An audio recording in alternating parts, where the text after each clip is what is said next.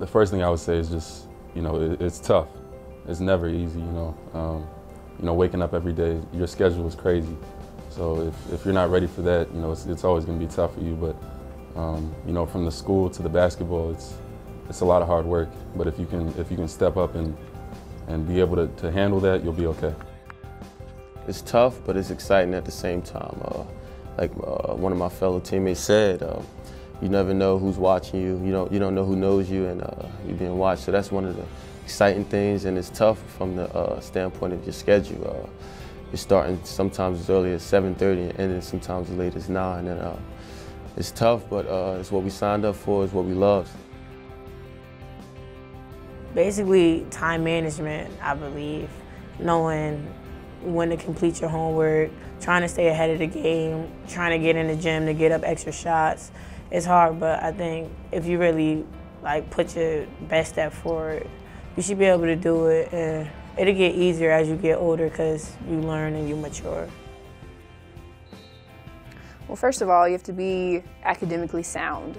Um, you know, talking to Melissa all the time, she's not going to let you get away with C minuses.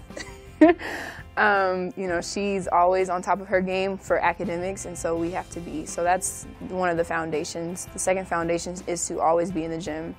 Um, she wants basketball heads, is what she calls them. You know, she wants somebody that's committed to her and the program. She wants someone that will be dedicated and motivated to, you know, get better every day.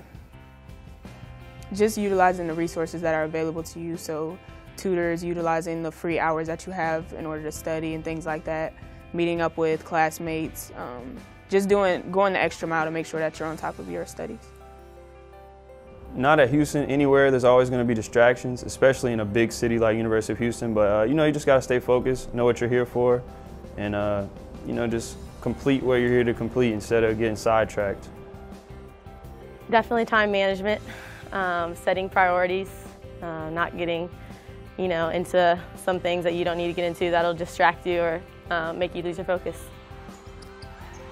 Organization, you know, you have to put everything you have to put prioritize things and you have to make sure you're organized to get things in on time and then be ready for practice. It's all about organization.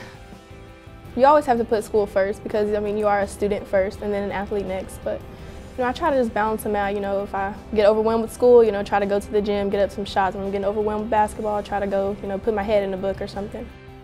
There's always you know the time management aspect you have to learn time management um, but just in sports, you, as you have goals, um, you have to have that in the classroom. Um, you know what I mean? Whether it's graduating early or having a certain GPA, you've got to have goals and, and expect to exceed those goals. And, and I think that's helped me, you know, bring the sport aspect into the classroom and be successful in both.